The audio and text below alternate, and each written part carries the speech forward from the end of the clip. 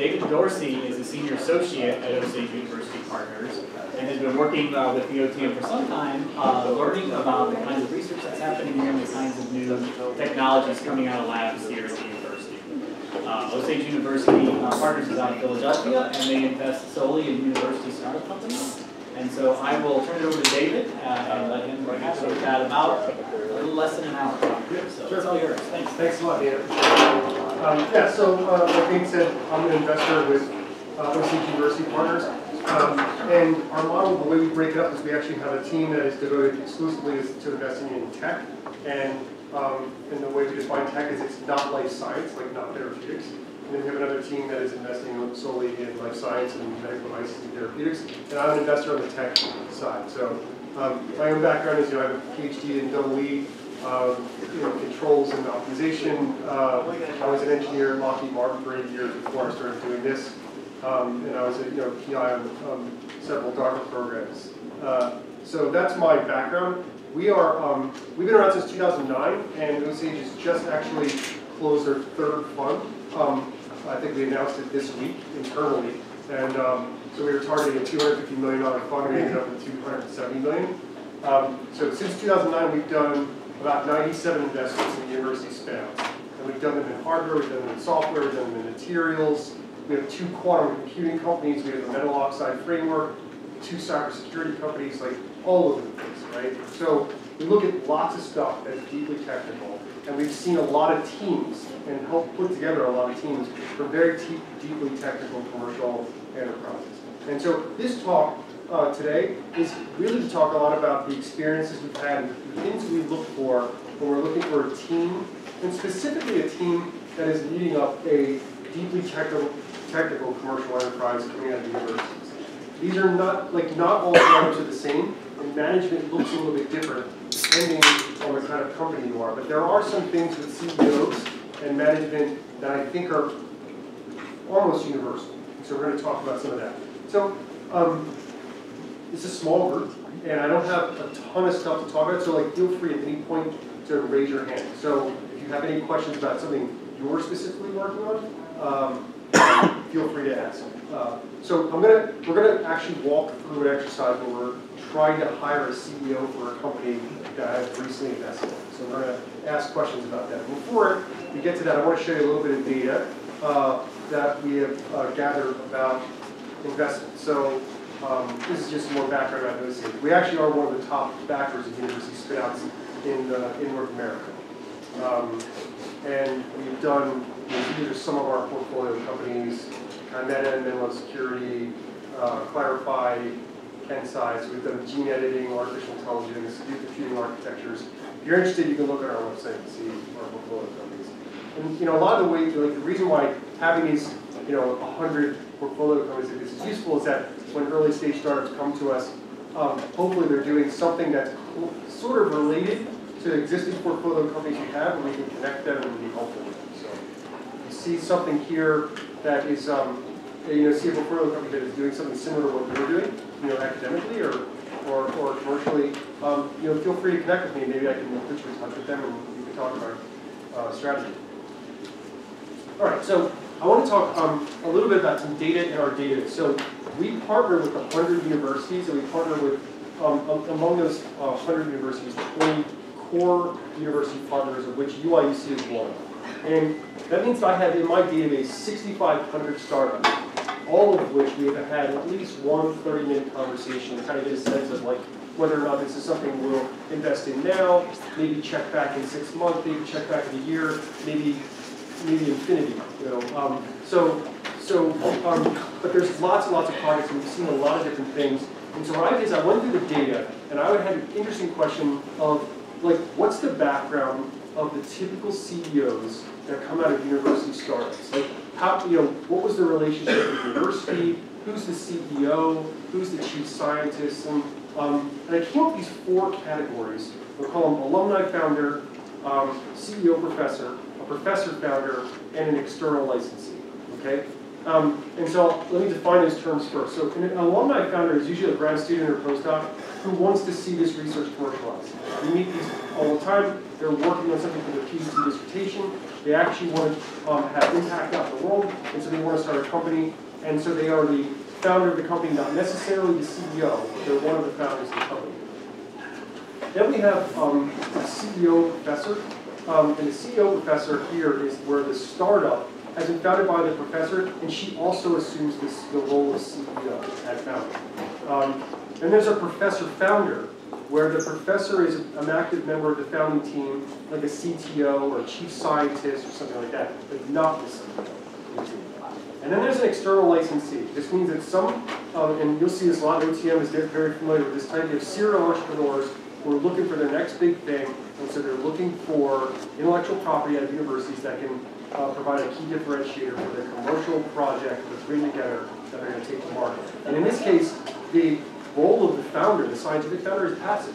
It, you know, they, they basically agree to kind of um, allow them to use it, you know, license this technology and take it to market, and they may have a consulting role or a one day a week kind of thing, right?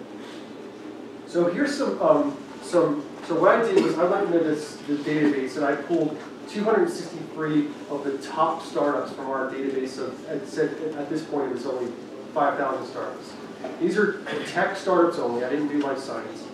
There are ones that have already raised venture capital because I needed some data on them. And these are ones that we consider high quality and investable. And in most cases, the ones that were able to raise venture capital tend to be high quality and investable. And so if you look at this here, the x-axis is the total amount that's been raised. It's the sum, not the average. And um, the, the y-axis here is the number of startups that have been created for the four different types that I mentioned. And so what you'll see is that the external licensee, the, the, the sort of serial entrepreneur who licenses stuff. Someone, these are usually people who have started businesses before, have started lots of startups, have raised more money. And professor founders, meaning where the professor is deeply involved in the company, but is not the CEO, they tend to raise far more money and start way more startups. Now, every data point on this graph represented is a high quality startup. So you can't dismiss the fact that there are 35 alumni founders, right? Um, and uh, 25 out of this 263 have the professor as CEO, like it happens. It just happens less often, and they raise commensurately less money. It makes sense. So just to give you an idea, when venture capitalists look at university spinouts, team really matters, and when someone has business experience, right, meaning not like a business education degree, meaning that they've done a startup before, it's much easier to raise money and there are more startups that start this. So it shouldn't be too surprising, but if it is, feel free to ask questions. Um, but the, the role of the active founding professor, I want to say, is actually very um, key here. If you look, the, the, the largest number of startups here is where the professor is really active. So they actually do play a very fundamental role um, uh, in the startups themselves. Another thing um, is looking at their tech background. So, um, you know, what this is saying is the highest degree that was earned by the CEO. And I would say, I talk to most VCs and I ask them, how many uh, CEOs in tech, not in life science, because life science they almost, you know, lots of PhDs and MDs, but in tech, how many of them have PhDs? And in this data set of 263, 40% of them have PhDs, which I thought was very high for CEOs. Like, compare this to overall internet startups where there's like more college dropouts than there are PhDs. And they were running the companies. Like, this tells you that university spinouts are different. And, and, and it stands to reason. The reason why is because the CEO is the sole narrator of the story. They have to tell this compelling story. And if they can't grasp the underlying fundamentals of the science too, then they're going to tell a story that's. Like they're not going to be able to tell a compelling story. So anyway, I thought that was a very interesting uh, data point. And also here, um, is that MBAs made up uh, less than 20% of the CEOs in the, in the total data set. And they make up far less in what we've invested in. And they raise proportionate amounts of capital, which I find interesting too. Like you would think that, like if an MBA was going to be really good at something, it would be like they could raise more money than an academic founder. And actually they raise about, on average, the same amount as an academic founder. So um, it doesn't seem to give much of an advantage there. Um, so anyway, successful CEOs in deep science are usually technically strong. I, that's a, statement I feel like I can make. So here's the, this is the, the, the companies that, that OUP is invested in and their background. So red, when it says past success, that means they had a start before, they sold it, they made some money. We are confident that, that they're, that they're gonna do well again. Um, startup in blue, the, the twenty-three percent, that means that they have startup experience. Unclear whether or not it's success, but it's startup experience. Um, academic is twenty-one percent, meaning that their background was almost entirely academic. Right? We've, we've invested in a number of academic founders. Um, some of them came from big companies, but less, like only, only invested in two of those. I'll get into why that ends up being the case, and six of them came from industry. Um, and I, I, I, I feel like we put it here just because we want to enforce the fact that the VCs make the worst CEOs. Right? So we've invested in zero VCs, and we'll probably never invest in a VC. Venture capitalists, uh, like myself, I don't know why it is. I, I wish I understood it, but venture capitalists don't make very great CEOs. Uh, and they often have a, a, um, uh, a hard time doing what it is they're really good at assessing others' ability to do. Um, anyway, so um, most important factors that contributed. Every time we make an investment, we always write down what the key reason why we invested in this or why they were successful.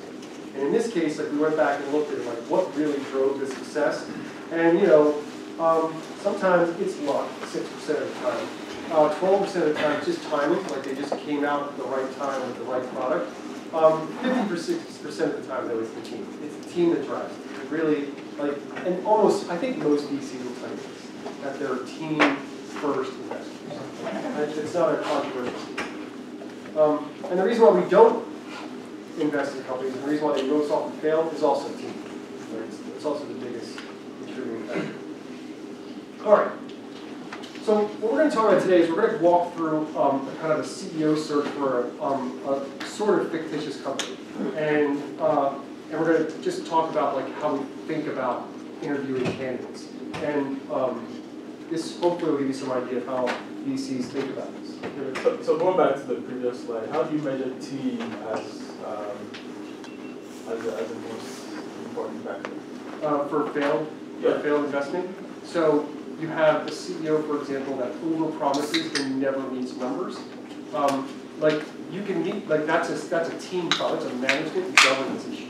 They couldn't hire talent, or people were quitting. They had a lot of churn in their in their uh, employee base. That's a governance and management problem. That's team.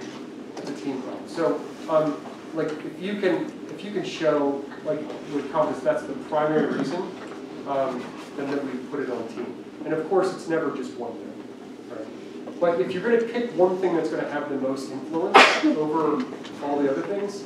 I, what do you think are the primary uh, responsibilities for a great CEO? responsibilities. Yeah. You know, honestly, like I'll tell you, I, I, one of the companies we invested in recently, I went to go see him, uh, to see how he's doing. I went to go visit, and he was, um, he was fixing the electrical outlets on the walls because they weren't working properly, and nobody could plug in their laptops in this little conference room. Like, great CEOs do everything at this stage, right? Um, but the main thing they have to do, like the, the, two things that are really important, is they have to be great at recruiting, which means you have to be great at telling a story, right? So when you're recruiting people for a startup, you're essentially telling people to take a job that in a company that might not exist soon, right? Um, and you're also giving them as compensation kind of equity in the company that may not exist soon. They have to believe that this is a real thing. So you have to be a compelling storyteller. The other thing you have to be really good at is raising money, which also means you have to be a very good storyteller. Right? So the two things you always have to be doing as a CEO is you have to be great at recruiting. These people that we meet that are great CEOs usually have kind of an infectious personality. People like being around them. They want to follow them around. When we do diligence, sometimes we'll ask um, to speak to people who used to work for them and find out if they followed them to, to their various jobs. Often you'll find that they sort of take it over to the living. I really like the data-driven um, presentation here. So I'm wondering what the definition of the startup, which phase of the startup you'll be focusing on? So like bootstrap or starting or product market fit or, which stage? Yeah, so um, it's a good question. We're gonna, um, we'll get into that a little bit more later, but we're talking about team, um, uh, we are talking about every stage, okay? Um, so the, the two things, when we talk about it, um, good at raising money and good at recruiting, you have to do that at the bootstrap phase. You have to do that when you raise your first funding. You have to do that again when you're doing product market fit, and you gotta do it again when you scale. And a lot of really successful companies have the same CEO from the day one, from day one. Because every time there's a management change, it's a risk. Like you're always introducing risk. So when we want to invest in a company, we, we recognize that very often there's turnover and we're gonna replace the CEO. But we would like to know that the person who's starting the company at the bootstrap level is actually the person that's gonna drive this to scale. Um, But when I'm talking about companies specifically, most of the time, I think, when I'm evaluating them for an investment, it's a Series A. So they've been running for a little bit, they've got some traction, it might not be revenue, it could be that like it's an open source project they have, you know, 300 GitHub stars or something like that. They have some evidence that someone cares about their project already, and now what they want to do is raise an equity finance. And that's usually the point that we're doing this evaluation. Now, the trick is though, is very often we find before that time comes, you have to hire a CEO for the company. Um, because again, other companies that are not university-based, what ends up happening is the CEO is the founder and starts the company. But very often here, we're graduate students or we're professors or we're researchers and we've got a really good idea and we need to bring in a CEO who has experience. So how do you do that? How do you hire? What do you look for? And that's what these kinds of questions are answering. So this company, this fictitious company, the Quantum Qubit uh, company, and this is a little far-fetched in the timeline we're talking about here, but it's a, it's a photonic quantum computing company. Um, you know, so it's not using superconducting, like it's, you know, it's sort of an optical approach. Um, and it's a, um, the idea is that it's a quantum machine with compute power that's orders of magnitude existing. You know, that's what all, but there's a, we have two quantum computing companies. Like the, the idea is that it can solve valuable problems, like it, it, it eventually, 15 years from now, who knows, right? Um, so the key facts here is that they expect to have some commercial product available in two years, and that's the far-fetched thing about this slide. Um, and they're going to develop both hardware and application software. So there's a hardware component. It's not like they're just making like op amps or you know, you know amplifiers. They're making there's a stack. There's a tech stack here. So um, it's a little more complicated than that than just components. Um, during the next two years, they're going to establish close relations with corporate partners like Microsoft, like IBM, like Google um, as channel partners. Um, and they're going to need to raise $3 million in seed money now. And then in two years, they're going to need to raise $20 million in a Series A financing. And they have a three-person engineering team in place today. One of them is, you know, a postdoc. Two of them are like friends. That's the team. That's who we met, right? And this is um, actually, let's make one of them a professor. Okay, so one of them is a professor. All right. So we got really lucky, and they gave us four candidates to choose from uh, to interview for this position. And the first one has 10 years of experience and was an engineer at Broadcom and left to become a VP of product development at a networking startup that Cisco acquired for $200 million. So it's a person who has hardware experience, understands what it takes to take hardware to market, you know, understands things like tape outs and you know how expensive they can be to get, you know, um, uh, um, error, like what, what happens when you have errors in your final reference design. Like understands like all the complicated stuff taking hardware to market, and also um, has done some product work. Like understands what it takes to build a product, to market that product, to package something that customers want to buy, and sold it to a to a large uh, customer, Cisco, for 200 million. Sounds good. Like that's a really good candidate, and it's um, a candidate that like you'd be lucky. So another one, candidate B, is a three-time successful entrepreneur in software, hardware, and another one in medical devices. One company went public, one of them was acquired by Medtronic, and one of them is still private. We don't know what's going on that. And then candidate C is a former general manager at IBM's quantum computing group. And prior to that, uh, he was the CTO of a server business unit at IBM. So it's like definitely, like the, this is the only person in this list so far um, with the exception of the next one, that has some like quantum experience.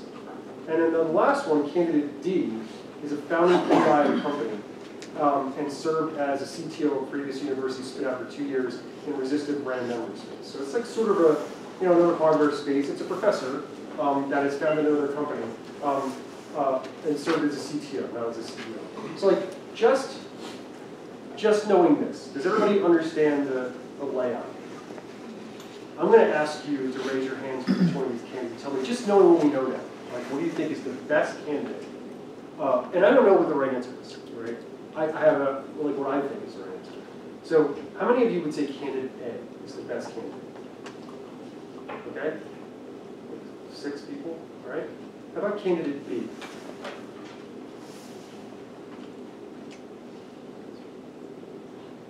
All right, so that's a pretty large group. How about candidate C? Another minority opinion. And how about the founding PI? All right. I agree with the consensus here. So I actually think candidate B is the best one. The reason why um, is that a lot of great CEOs um, typically have the ability, like we have found, they have the ability, first of all, they know how to take stuff to market and sell it, independent of um, the particular domain. They tend to be deeply technical and understand, they can understand technical material, but they don't have to be deeply, deeply in domain expertise uh, in that particular product. And actually, someone who's been able to have success in software and hardware and medical devices is one of these kind of product market fit junkies. Like they just know how to take stuff to market. They know how to product things. And it doesn't matter, no matter, it doesn't matter what it is. So if they're interested in taking on a project like this, like that's someone that I'd like to see be CEO. Um, and there's lots of questions you need to ask. I'll then also talk about some of the ones, um, we'll get into this because we're going to dig a little deeper for questions. So, um, so, you know, the kinds of questions you want to ask for candidate A, this is the person from Broadcom, is whether or not they had a track record of success. And one of the problems with Broadcom and also at IBM is when people say they have like a title like VP of product at IBM or at, at Broadcom, that title can mean something very different from one place to the next. Like, when I worked at Lockheed Martin, and I would, you know, meet people who were called, you know, Tech VP of Enterprise, and they would have like no technical background, like none. And so, like, it's just a title. It doesn't mean anything. You can't really figure out what it means. You don't know, like, were they, were they, were they, like, did they have five people working under them? Did they have 50? Is that even a good measure? Does it even matter? Did they have impact on the bottom line of the company? Like, did they create a new product, or were they taking some legacy product from, you know, 10 years ago and, and, and continue to find new customers for it? It's very difficult to assess someone who comes from a big company like this. And so you have to ask about interim promotions, uh, you have to ask about whether or not the startup that he was involved with was really a success. In other words, how much capital did it raise? So like, if it sold for $200 million, but it raised 190 million, that's not great, you know? Um, so transitions, anytime there's a transition, like we have to find out why that happened. Why they leave Broadcom, why did you do this? Um, and so these interviews take a long time because we really get into their, personal business. Uh, domain expertise, like um, how do we get comfortable that this person understands or can understand quantum computing? Um, how curious are they? Uh, and the last thing here is, is leadership. Like, given that it's a first-time CEO, can they be a leader? Like, did they manage a team in the startup? Did they have quality people that they've recruited in the past? Like, and like I was saying before, like, do their colleagues follow them from one job to the next? These are the kinds of things you're looking for. It's a little obscure when you're dealing with someone who's coming from a big corporation. Also, wall talent. This is like sort of an intangible that you meet with them and you just get a sense that they're deep listeners. Like, they really hear everything you say they see, say it back to you clearly, they're articulate, and they understand. Like they have a deep understanding of what people are expecting from them. They have this kind of um, emotional sensitivity, right? All right. So the candidate B, the one that we like, uh, or the one that I like, um, the kinds of things that we ask here is we really want to understand the timing and the role of each one of these companies. When a lot of times what you'll find out is people are like, I've had six successful exits. Well, like, that's a really grand statement to make, but when did you leave? Did it exit after you left? Did it exit before you left? Like, when did they raise money? What role did you have in the transition? What role did you have in selling the company? What role did you have in founding the company? So if you're only there for a year and you didn't help found it, you didn't help sell it, like, what was your role in that company? So um, uh, you really have to get into each and every one of these and find out, like, when did you start? Can we talk to people who work there? You get into all these things about um, uh, uh, you know, how other people who work there view them. Um, so, you know, some of these are, like the medical device uh, uh, was acquired by Medtronic for 80 million, but raised 50 million, kind of raises the issues before. That's not always a bad thing. Sometimes, like medical devices is a tough industry. Maybe the markets changed like while this was happening. It used to be that devices were really hot and it was easy to raise lots of money. And then they weren't anymore. It was hard to sell those companies. So like raising 50 and only selling it for 80 doesn't mean he's a bad manager. So it's also hard to assess like what it means about candidate. Um, the private company that's still private was funded by very good uh, um, firms, Sequoia and Accel. Um, the CEO has recruited um, uh, replacement after raising the venture round though, because B thought the company needed domain expertise. So um, this is saying that this person is aware of his own limitations, and um, he or she has decided that at some point in a successful company, she's not really the best leader for the company anymore because they've gotten to the point now where they need domain expertise, right? And that says a ton about these kinds of people. Like, what you want is someone who's always thinking about the company first. And so we'll always ask them questions like hypothetically, like, okay, so let's say after we raise this next round, um, we decide that, you know, we're gonna be going this other channel to market. We're gonna be doing lots of corporate partnerships. You don't have any experience with that. Like, what are your thoughts of maybe in the future potentially stepping aside for someone who has that expertise? You wanna hear an unequivocal, sure, I'll do what's best for the company. That's what you wanna hear. You don't always hear that. Sometimes you get somebody who says, well, I don't know why I wouldn't be able to, you know, make partnerships with Microsoft. And it's like, well, because you've never done it. I know, but, you know, there's first time for everything. I, I know, but we're just asking if we found somebody who's better at it, would you step aside? And if they hesitate, it's a, it's a red flag. These things get really emotional, they really do. Um, so this one here, the, the, um, the IBM guy, you see this a lot actually, with someone who's been at a company for say 30 years. Um, the reason why they're not a good CEO has to do with the fact that they're not willing to change electric sockets. They're not willing to order new tiles for the bathroom because they broke. They're not willing to renegotiate the rent with the landlord. They, they're used to having two administrators who do their scheduling for them and 50 people who send up reports that they read and then like sit back in the chair and then come back and say, here's what we're gonna do next. And they strategize. Like, you can't have someone like that at startup. Like, startups like have to figure out like how we can save money on lunches. Like, I mean, yeah, that's, that's, it's a very different ordeal. And like, we have, usually when we encounter people like this, what they're saying is like, oh, how much you think you should get paid for this? And they're saying $300,000 salary. I mean, you're taking runway away from the company. You're gonna raise a $3 million seed, which is what we just said. And $300,000 a year is going to the CEO. It's not like it's a ton of money out of the 3 million, but it just shows that like, his incentives aren't aligned with ours. Our incentives are that we want everybody to make a ton of money off of this, off equity, right? And so in some cases, I've had situations where like, I've been approached to work at a startup, and I've had people say, I'll pay your current salary, now how much do you want to give me back to buy equity? Because they want to find out, like, how much equity is important. And so what you want, what they want to hear you say is, I'll work for free, give me as much equity as this cash will buy. That's what they want to hear. And because you want someone who's interested or aligned with you, if they're making $300,000 a year, they're not incentivized in the same way as you are to exit for a billion dollars, right? So this is one of the problems when you take someone who has like lots and lots of industry experience with a high-paying job, is that they're not a good fit culturally for the startup, and they also have expectations that are different about, about the, the way they spend, and they also spend money, typically they're, they have higher burn rates, they're used to big budgets. Um, the last one here is the, is the PI. Lots of industry connections. Several members of this person's lab went to follow him into his last company, so actually it was um, uh, pretty good.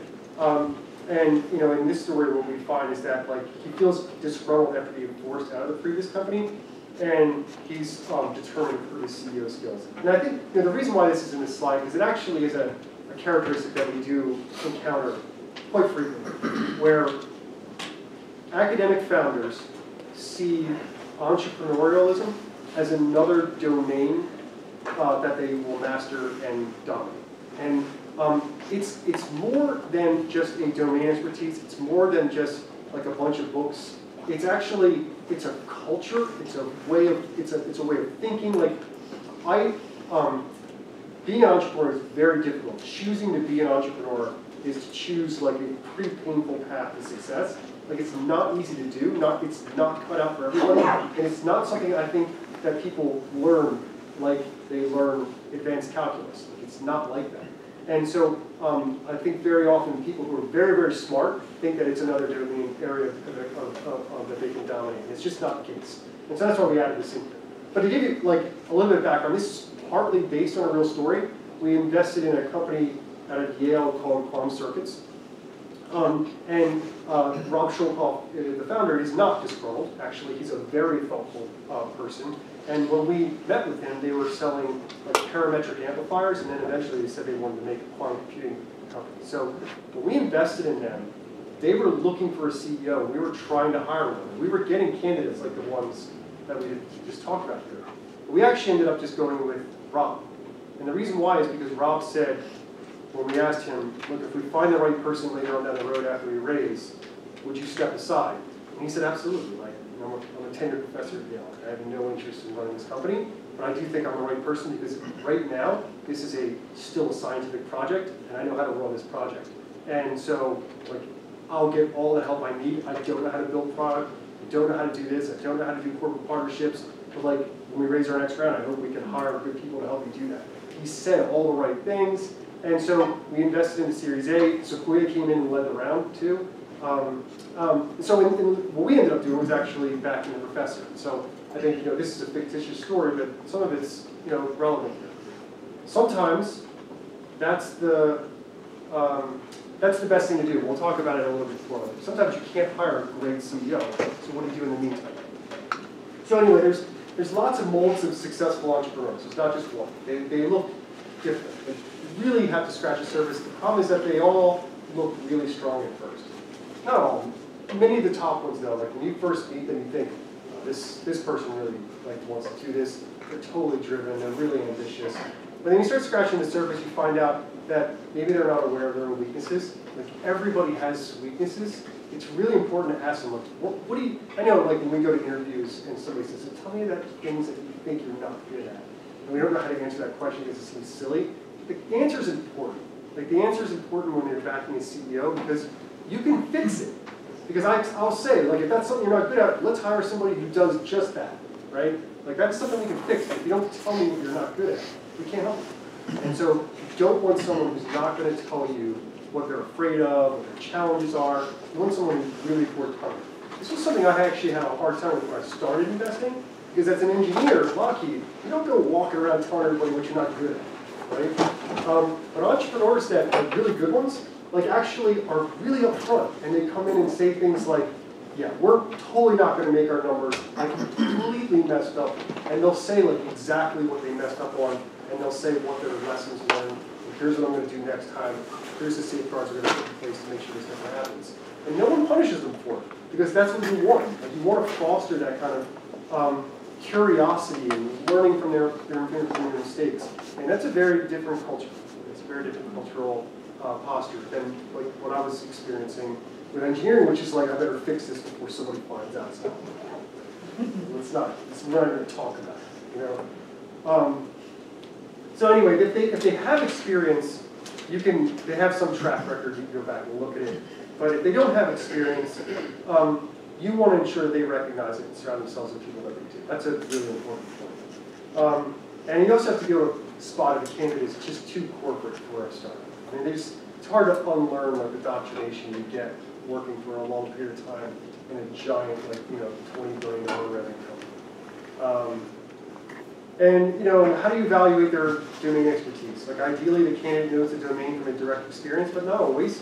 And um, if the candidate doesn't have the direct experience, um, you just want to make sure that they can recruit people who have it, right? So, again, this kind of personality uh, that you're looking for, this kind of personal charisma.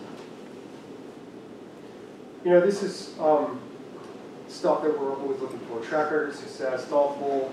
The, the ones I want to, there's, there's some ones at the bottom I want to highlight here. Um, we already said something about being a great leader, the ability to attract and retain talent. They're intensely entrepreneurial, like they're sales driven. They're always thinking about selling something, story, selling the job title, selling the startup to their friends. They sell it to everybody. Like some of these guys, you'll come and you'll meet them and you'll say, like, so how did you raise your first $50,000? And like, friends and family. Like, you know, when people bootstrap and they say they raise their money for their friends and family, that means you're a good storyteller. Like, because you've got nothing. Like, you're going to people that you're related to, and you're telling them why they should give you money. And they're not, you know, no one's gonna get rich off of this, right? So like, it- bootstrapping also tells how, how, um, what we, the word we use is scrappy. Like, You don't have a lot to work with, but you can make, you can get ten X multiplier out of a little bit that you can, uh, work with. So, what we, um, very often see is that they're just good salespeople. Um, when we say scrappy, they can accomplish a lot with a little bit of capital.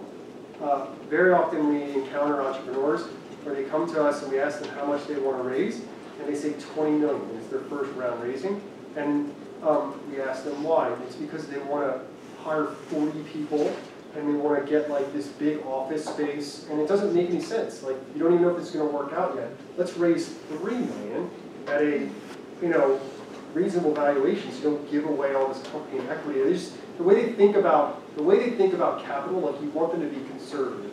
And the reason why is because whatever your business plan is, so you have a plan, you raise three million dollars, the plan is that this three million dollars lasts you for twelve months.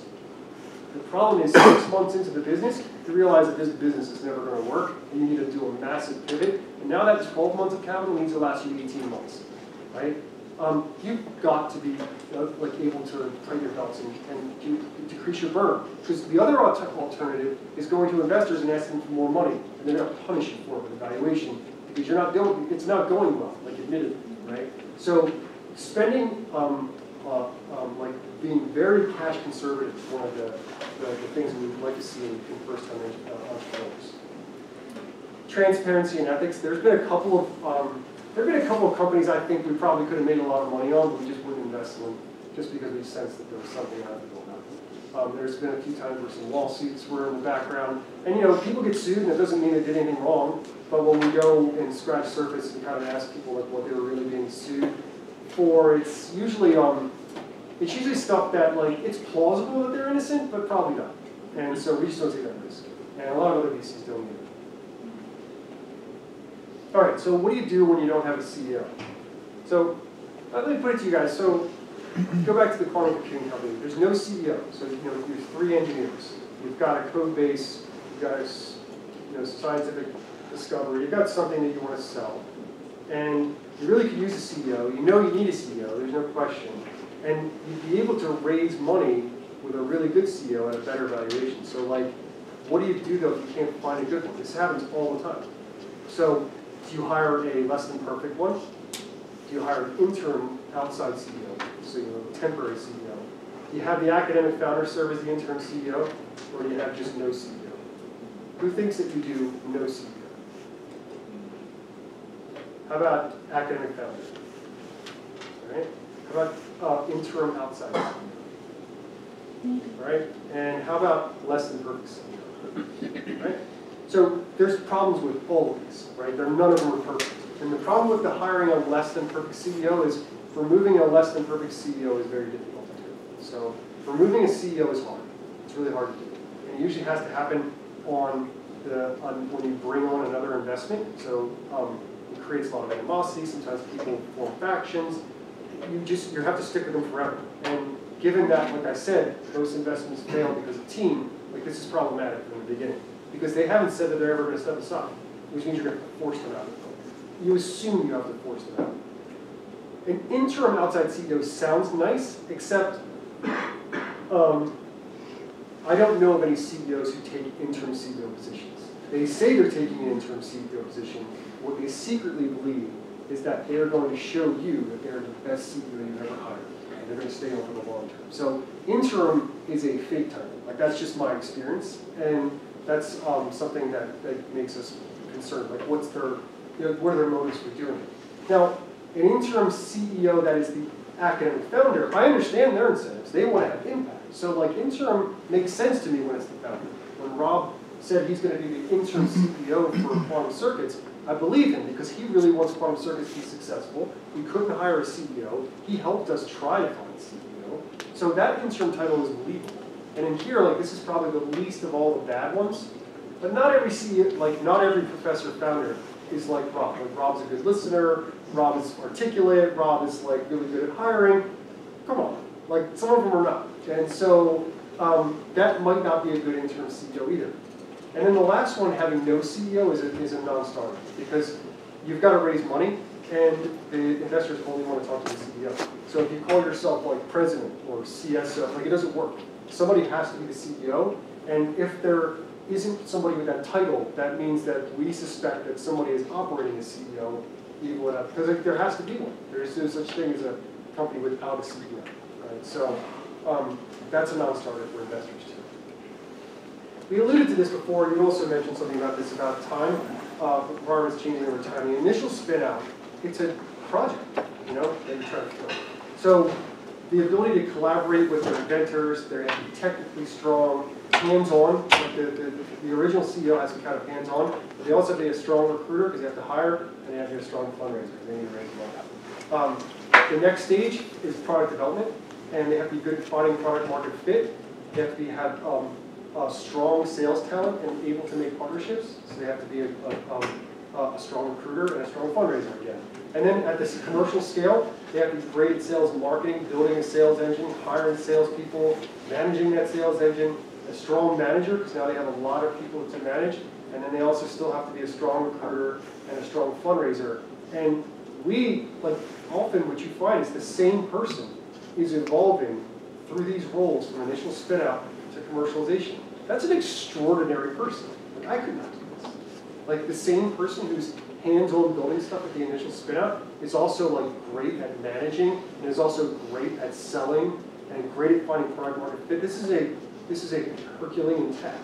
So like I don't want anybody to like if, if I haven't said it, you know, made it clear, I think entrepreneur like great entrepreneurs are right? right? Because they are. And I think that it's something that people can grow into, um, and it takes experience, it takes just trying it out, stuff like that. But what you'll find, though, is that what they all have in common is that they're strong recruiters and they're strong fundraisers. They can tell a good story. And because you guys are selling technical products, it helps that you have a technical background. So um, that's our experience. You know, what we do, this is like sort of inside baseball, but we call previous investors, we look on LinkedIn, we do Google searches, we, we, we do like more background checks than the FBI, like if you were doing a top secret clearance. Like we call everybody. We call everybody. We've had some CEOs come to us and say like, you know, I feel a little uncomfortable with the fact that like we're calling like everybody I know. And we say, you know, it's the way, I mean, it's the way it is. So we call everybody. And, um, and we try to very, very hard to avoid confirmation bias and all kinds of biases. The problem with VCs is that we like people who are like us, right? And so that's not, I already said VCs don't make good CEOs. So that's not a good investment strategy, right? You can't, I can't hire people that are like me. Because by definition, they'll be failures. I need to hire people who are demonstratively, by some data, by some measure, good at recruiting and selling the story and raising money.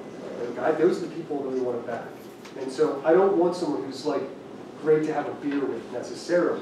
I want somebody to demonstrate that like they're they're they're infectious. Like people want to be around them. People want to join their team. They get excited. When I think about like what drives me to invest in a company or not invest in a company, when I get a little bit of jealous, like when I feel jealous, like I want to join their team because they look like they're having a lot of fun and I know they're going to be successful, and I'm going to quit my job, and that, that makes me want to like form a company. I get like that's what I think, and it's usually because the CEO she's like telling such an amazing story, you just want to jump in. You want to quit your job, take a pay cut, and go join this team. Like if you meet someone like that, that's a great scene.